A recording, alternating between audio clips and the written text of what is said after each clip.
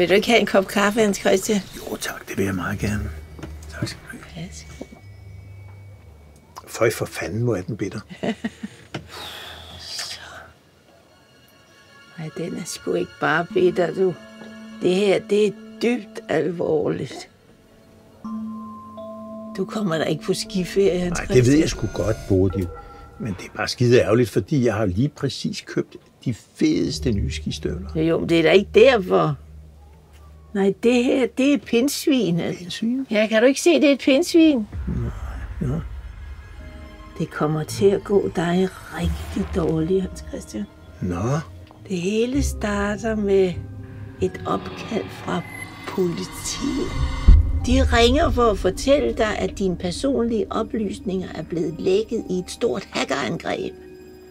Og at der lige nu er nogen, der er ved at optage lån i dit navn.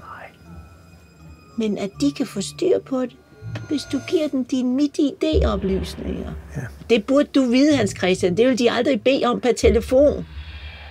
Men du giver dem det bare alligevel. nej. Og bang du! Så er din identitet blevet stjålet.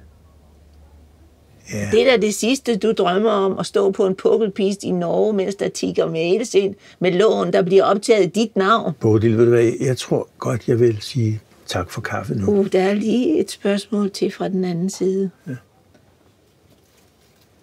Hvad nummer bruger du i sko? 46. Det er ikke sådan, jeg kunne låne de skistøvler. Jeg putter bare en sål i.